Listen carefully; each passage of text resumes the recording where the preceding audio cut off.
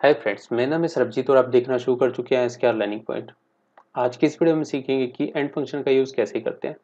Already मैं एक and function के ऊपर पहले से वीडियो बना चुका हूँ, अगर आपने वो नहीं देखी है तो पहले जाके वो देखिए. एंड फ़ंक्शन किसी स्पेसिफिक डेट के साथ लॉजिकल कंडीशन किस तरीके से लगाता है? तो यहाँ पे मेरे पास कुछ हाइपोथेटिकल डेटा है, जिसमें मेरे पास डेट्स और सेल है. तो यहाँ पे मैं उन्हीं डेट्स के सामने ट्रू रिज़ल्ट चाहता हूँ, जो मेरी कंडीशन को मीट करे। कंडीशन क्या है? अगर स्टार्ट डेट मेरी नौ चौदह है और एंड डेट नौ इक्कीस है, इन दोनों डेट के बराबर या इन दोनों डेट्स के बीच की कोई डेट हो तो उसी के सामने ट्रू रिज़ल्ट आए अदरवाइज़ फॉल्स आए। मैं यहाँ पे फॉर्मूला लगाता हूँ and logic one logic one क्या देता हूँ? अगर मेरे पास ई e फाइव में जो डेट है, यानी ये जो डेट मैंने सेलेक्ट किया अगर ये स्टार्ट डेट के बराबर है या उससे ज़्यादा है, यानी नौ पंद्रह, नौ सोलह, इस तरीके से डेट आ रही है तो ट्रू आए।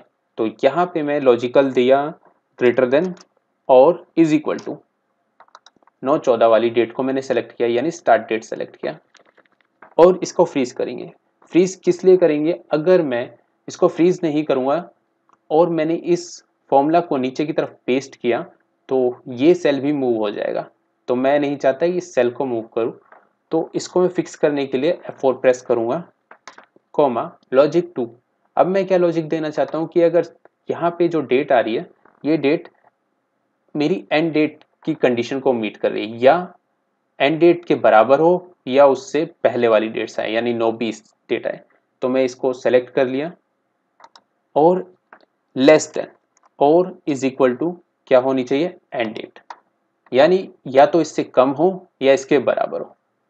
और इसको फ्रीज करेंगे पैकेट क्लोज एंटर और इसको मैं ट्रैक कर देता हूँ। आप देखेंगे मेरे पास यहाँ पे ट्रू रिज़ल्ट आया, मैं इसको हाईलाइट कर देता हूँ और चेक करते हैं ये डेट कौन सी है। तो ये डेट्स जो आ रही हैं, वो मेरी स्टार्ट डेट के बाद की डेट है और एंड डेट से पहले की डेट है। आशा करता हूँ आपको मेरा वीडियो पसंद आएगा और पसंद आया तो प्लीज़ मेरी वीडियोस को अपने दोस्तों के साथ ज़रूर शेयर करें। Thank you so much